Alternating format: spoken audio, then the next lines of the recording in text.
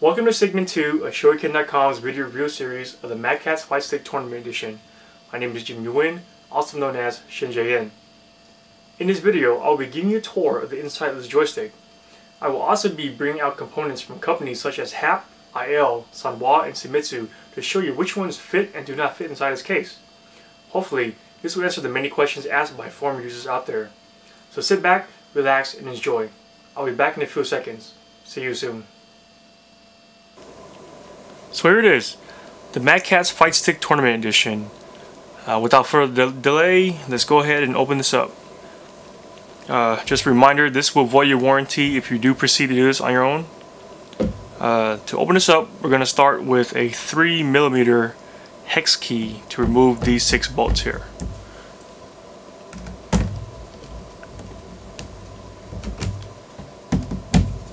It's very easy, nothing too complicated. Only problem is you finding a, uh, a metric hex key.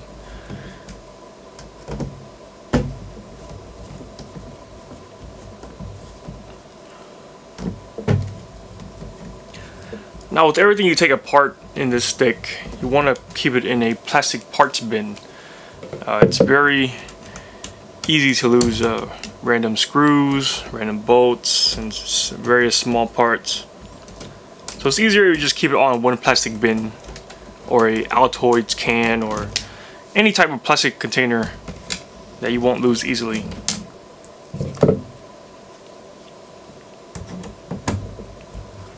That's a pro tip from uh, a long-time modder. Keep everything in a plastic bin.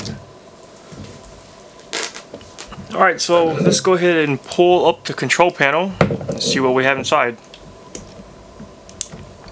I took the liberty of removing the wires and quick disconnects from the buttons and the 5-pin connector from the joystick.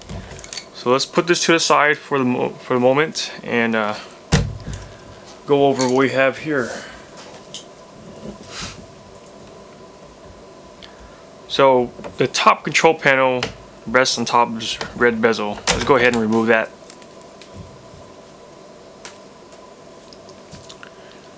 And this is pretty much what the inside looks like. Since I removed the top, let's go ahead and remove the bottom.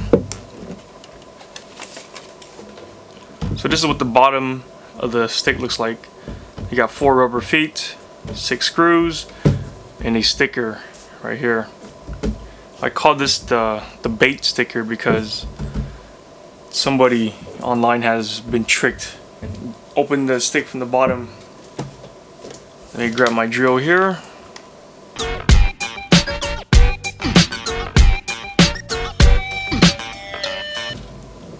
Take your screws, throw them in your plastic container. Now let me show you why they call this warranty the bait sticker. Let's open this up. And what do you get? Nothing. You got baited if you went through the bottom first.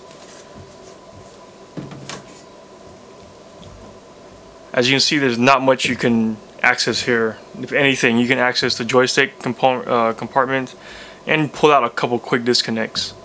Other than that, there's uh, no other component you can easily reach if you went through the bottom.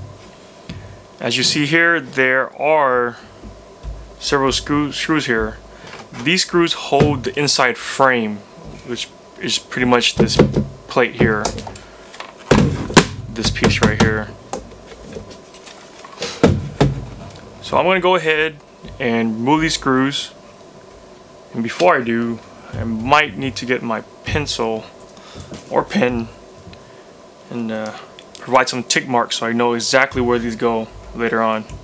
If you have a camera, that will help too. Just take a camera so you know exactly what it looks like. So let me mark these real quick.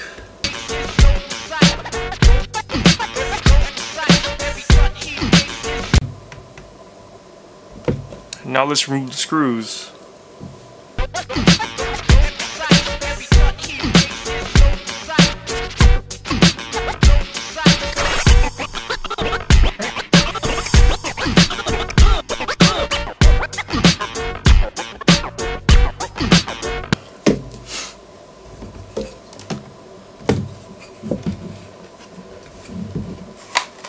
So after you remove the screws, you can see that inside frame comes out.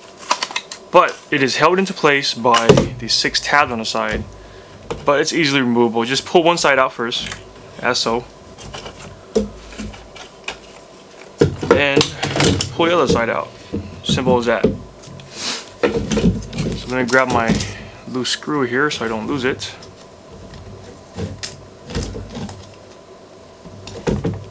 And take the rest throw them into my plastics uh, part container.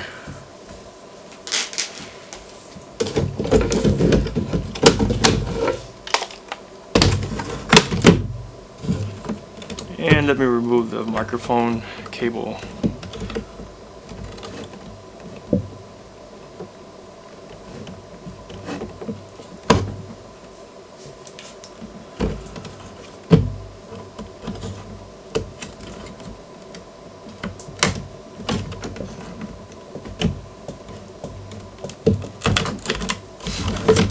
There you have it. The inside frame of the tournament edition.